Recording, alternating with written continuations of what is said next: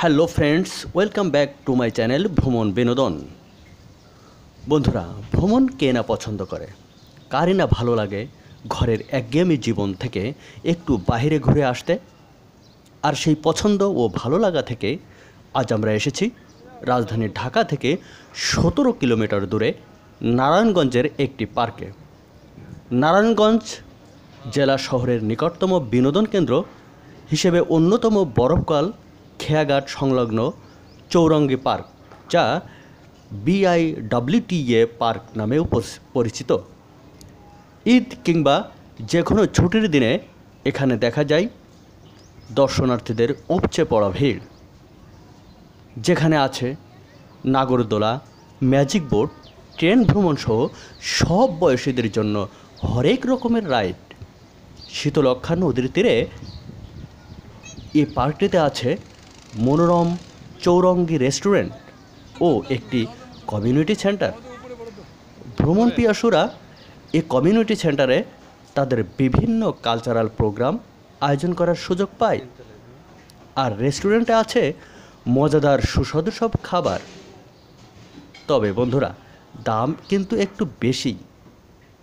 তাই পার্কের বাহির থেকে খাবার খেলে দর্শনার্থীদের অর্থ খরচের লাগাম টানা সম্ভব হয়।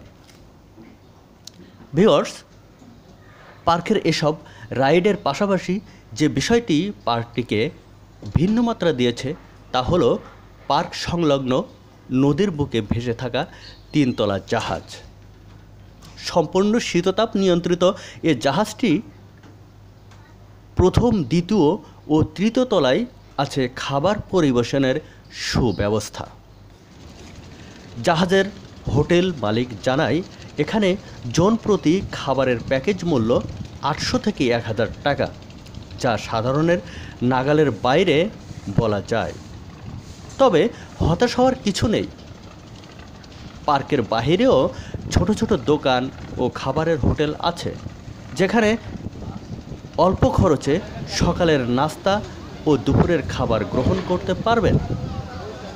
দর্শক জাহাজের খাবারের দাম বেশি হলেও এর আন্ডারগ্রাউন্ড তথা পানের নিচতলার পরিবেশটা কিন্তু মনোমুগ্ধকর।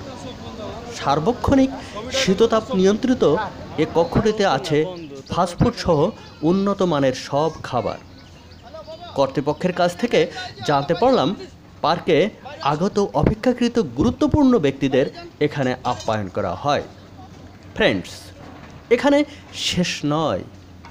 জাহাজটির ভিতর দিয়ে আবার আছে ভিন্ন একটি গেট এই গেট থেকে যে কেউ ইচ্ছা করলে স্পিড বোর্ডে ঘুরতে পারেন নদীর বুকে আচ্ছা। চোখ মেলে দেখতে পারেন নদীর বুকে ভাসমান লোহার বড় পাইপ বড় বড় জাহাজ ও নদীর তীরের কারখানায় সিমেন্ট তৈরির মনোমুগ্ধকর দৃশ্য